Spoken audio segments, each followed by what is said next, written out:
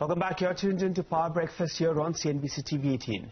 Let's get straight to a CNBC TV 18 exclusive then. My colleague Archana Shukla caught up with the managing director of Bain Capital, Mr. Amit Chandra, at the 11th Global Summit in Mumbai and began by asking him about the firm's upcoming investment strategy in the country and his view on the social exchanges set up by the government. Here's a slice of that conversation. Valuations uh, correct or when uh, companies need capital uh, is normally the best time to start investing.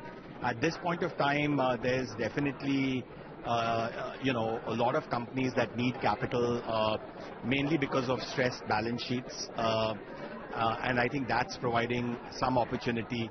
and we are definitely beginning to look a lot more at such opportunities. Um, you know, we did, as you uh, would recollect, uh, put a lot of money into Axis Bank, which has turned into a good investment, uh, you know, for us. Most foreign investors are seeming to be cautious and they're holding their uh, bets as far as investing in India is concerned. So would that be the call that even Bain would take or would you think this is more... No, we are, you know, Archana, we are long-term uh, investors. We take a five, seven-year uh, view. And, you know, I think that, you know, uh, often when we invest, people ask, uh, you know, why. Uh, and, and uh, you know, over time, actually, those land up being the best uh, investments.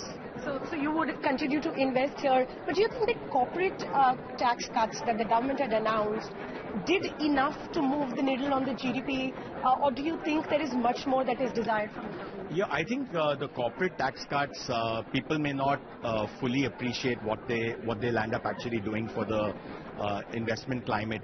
Uh, they were actually very important because for companies per se, they actually improve uh, cash flow enormously.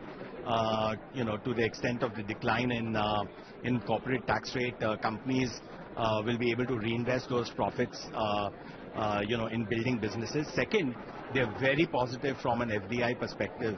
Uh, they make India a very attractive destination at a point of time when a lot of businesses are looking at rejigging their supply chains, uh, particularly because of the uh, U.S.-China uh, trade conflict.